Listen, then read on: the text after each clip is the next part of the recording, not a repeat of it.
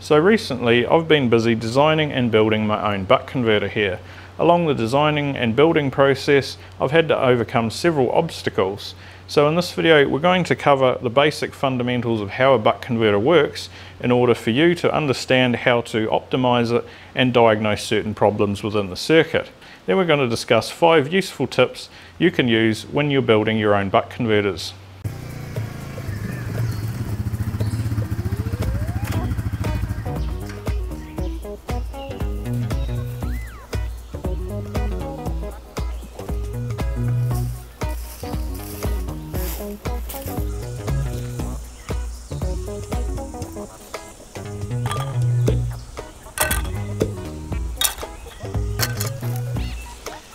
Fortunately for me, I live in a part of the world where PCBs grow in the wild, but you might not be so fortunate. But that's okay because this video's sponsor is JLC PCB and they've got you covered. JLC PCB is one of the largest PCB manufacturers in the world. Personally, I've always been impressed with the quality and affordability they offer.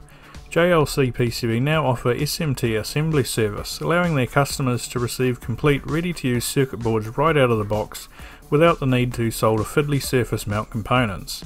With a multitude of design options, fast production time, and with 5 PCBs costing less than a cup of coffee, give JLC PCB your next PCB project.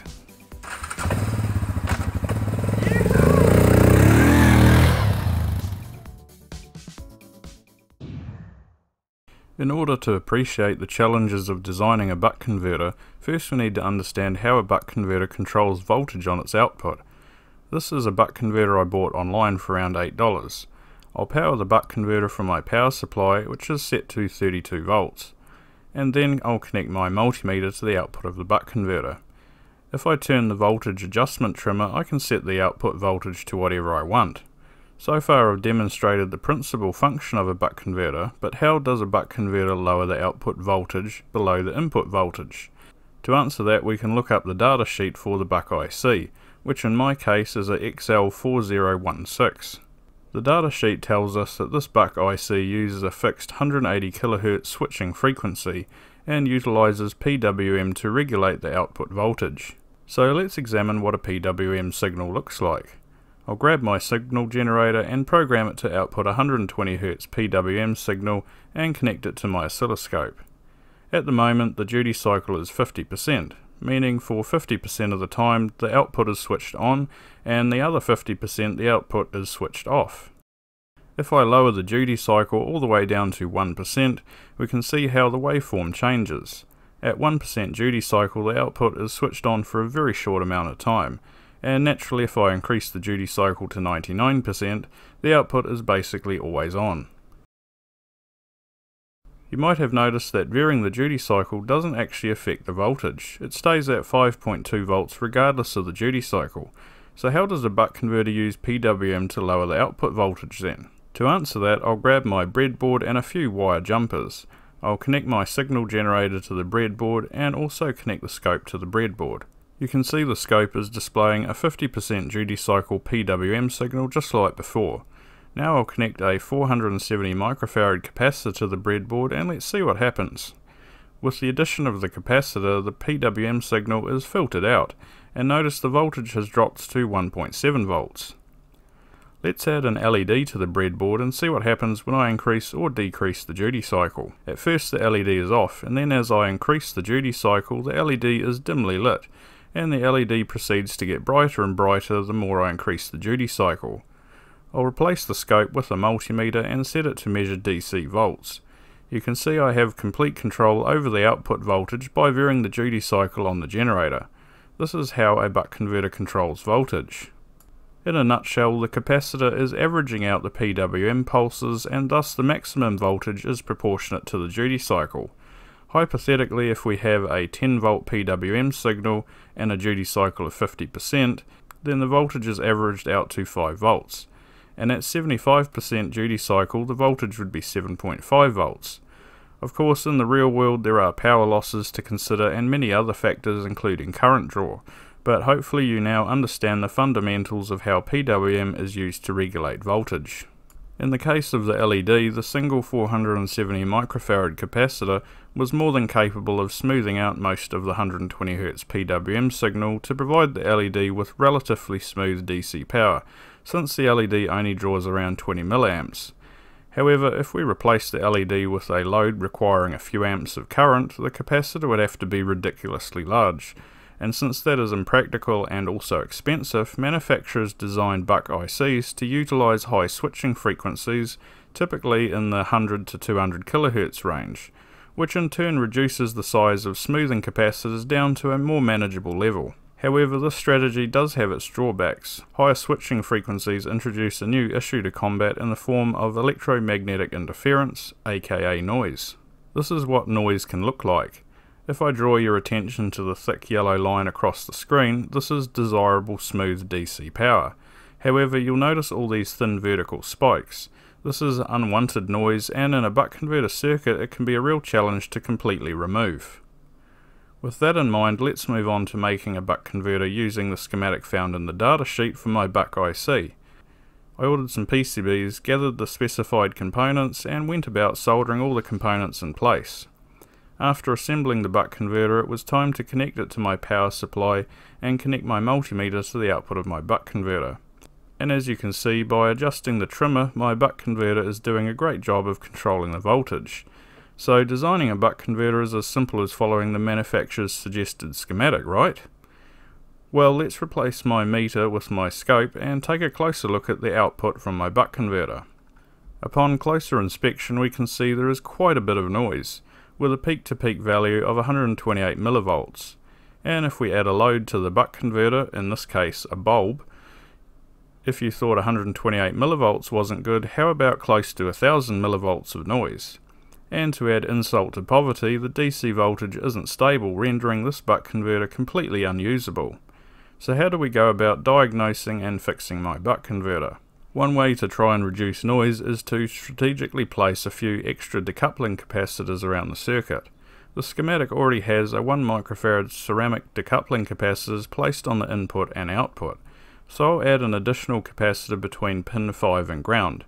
Mounting it as close to the buck IC is important, so I'm going to solder it directly to the IC's pins. I then added one more capacitor between the positive output and the feedback pin aka pin 2.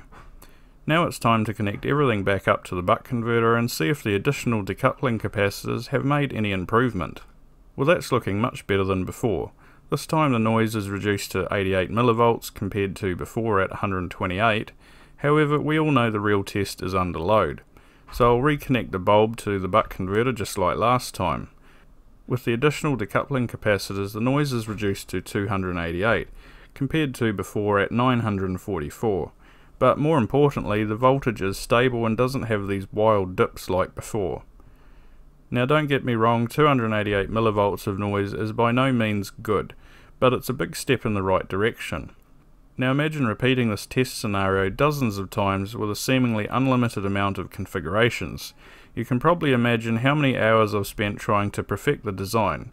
Fast forward several generations and we arrive here with my latest version you might have noticed there are a lot more components on the PCB, and most of them aren't to reduce noise.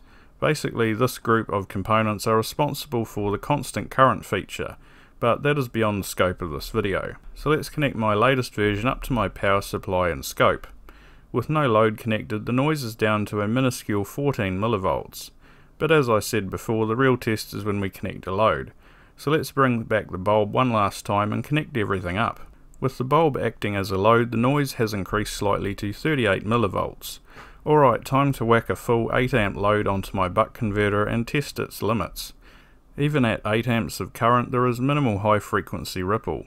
The 64 millivolts peak to peak ripple is mostly low frequency ripple that could easily be filtered out with a slightly larger output capacitor if required. These figures are about as good as you should expect from a buck converter like this. Reducing the noise further would be possible with the addition of a larger output capacitor or even perhaps a voltage regulator. However, it's all relative to the application and for most people including myself, 64 millivolts of ripple at 8 amps is more than good enough. If you're thinking of designing your own buck converter from scratch like I did, here are several design tips. 1. Use quality name brand inductors you can trust. The green Toroid inductor here is a quality name brand item with a price to match. The cheaper no-name black inductor uses wire that is too thin for the current specified in the datasheet and the inductor core is constructed from ferrite which is the wrong material for this application. So buy quality inductors. 2. Use capacitors that are rated for use in switch mode power supplies. The majority of capacitors, even quality name brand ones, aren't necessarily designed with the intention of being used in high switching frequency applications. Make sure you use a capacitor that has low ESL and low ESR values. Some manufacturers like Nichicon mention in their product datasheets what applications their products are most suited for. 3. Ceramic decoupling capacitors are your friend.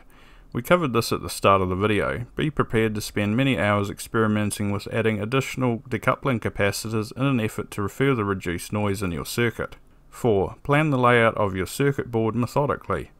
Keep all the PCB tracks as short as possible. Lay down top and bottom ground planes to soak up unwanted EMI noise. And keep noisy components such as the inductor and flyback diode away from other sensitive components. 5. It's essential to have an oscilloscope and quality power supply.